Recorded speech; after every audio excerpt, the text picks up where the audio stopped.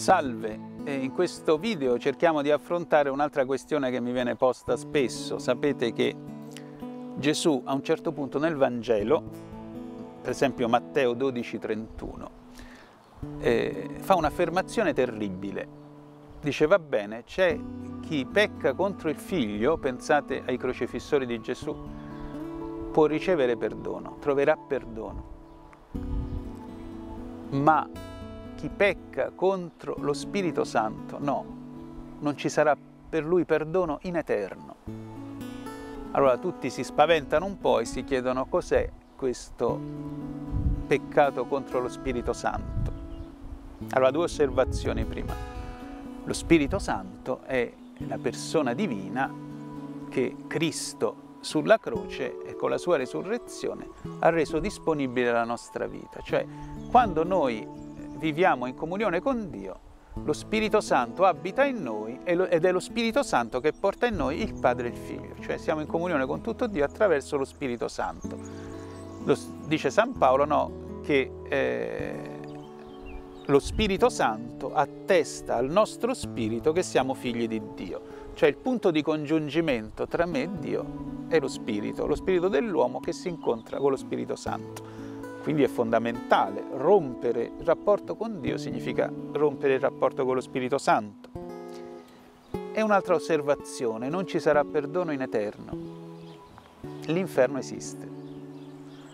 Questi, in questi video di eh, Canzao Nova ce n'è uno che non so quante migliaia, i miei video non è che li vede tanta gente, però ce n'è uno che non so quante migliaia di, eh, di eh, contatti ha avuto perché e poi i commenti non vi dico sotto, perché eh, eh, rispondeva alla domanda se Dio è buono perché esiste l'inferno. Allora l'inferno c'è perché Dio è buono, ribadisco. Siccome Dio è buono e ti ama, ti vuole libero. Dio non è un padre nevrotico che vuole togliere la libertà ai suoi figli. Dio accetta di essere rifiutato. Dio non ha creato nessun inferno, l'inferno lo crei tu. Lo, lo creo io quando rifiuto Dio faccio della mia vita un inferno e siccome la mia vita è una cosa seria, è eterna, questo può durare in eterno. Dio accetta in eterno questo rifiuto. Sapete che la più grande sofferenza di Cristo nel Getsemani non è stato tanto per sé, ma pensare che tutto questo dolore che stava per affrontare non avrebbe potuto salvare tutti gli uomini perché qualcuno l'avrebbe rifiutato. Allora, quali sono questi peccati contro lo Spirito Santo? La Chiesa ne enumera sei, sempre nel famoso catechismo che viene insegnato poco oggi, eh, spiegato poco. In realtà sono cinque che preparano il sesto, quello veramente decisivo è il sesto. Allora, vediamo rapidamente quali sono disperazione della salvezza, non per niente lo mette al primo posto. Cristo è morto sulla croce per la nostra salvezza, ha vinto la morte con la sua risurrezione, non disperare mai della propria salvezza. Se uno pensa sono perduto, non c'è più niente da fare, si inganna. La fede cristiana è fatta di tante cadute e di tante volte in cui il Signore ci rialza, altrettante volte il Signore ci rialza. Uno pensa così quando guarda solo a se stesso, quando dimentica che c'è Cristo.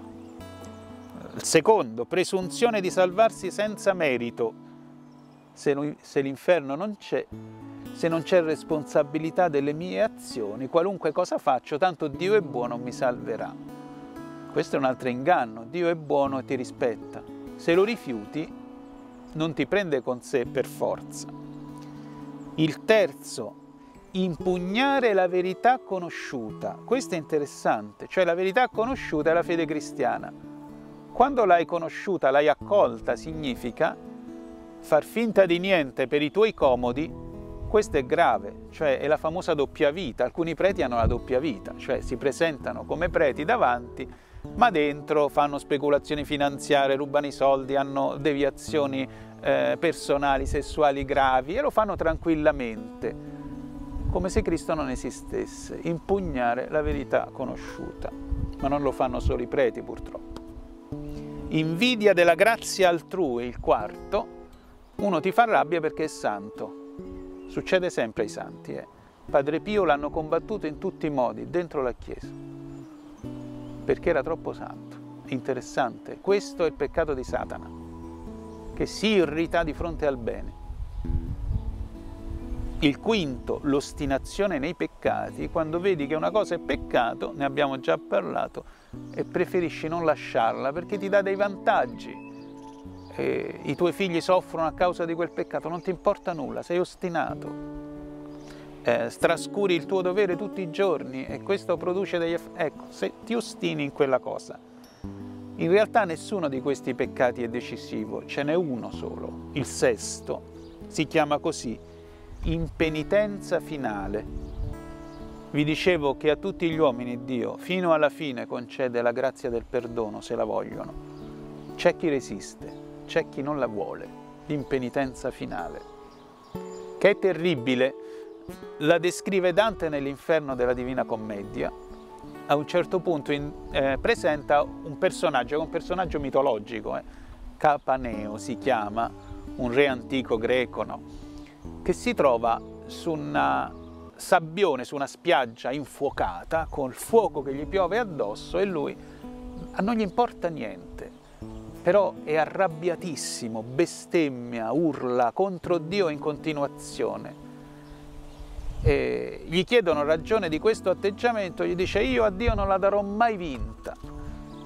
E commenta Virgilio che accompagna Dante, ecco, vedi perché per lui il fuoco non importa niente, il suo maggior tormento è questa superbia orribile.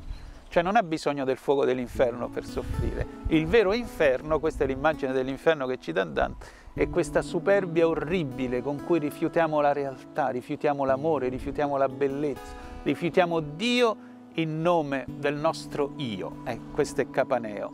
Poi c'è un altro personaggio interessante nel Purgatorio, per fortuna, buon conte di Montefeltro, un poco di buono, che ha fatto di tutto nella vita, quando sta per morire arriva il diavolo per portarselo all'inferno, ma in quel momento gli esce una lacrimuccia, una lacrimetta, dice alla lettera Dante, dall'occhio di pentimento e un angelo lo ruba al diavolo che rimane a bocca asciutta.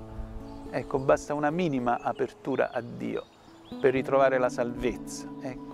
Che il Signore ci preservi sempre da questo peccato e ci dia amore a Lui. Ti benedica il Signore e ti protegga.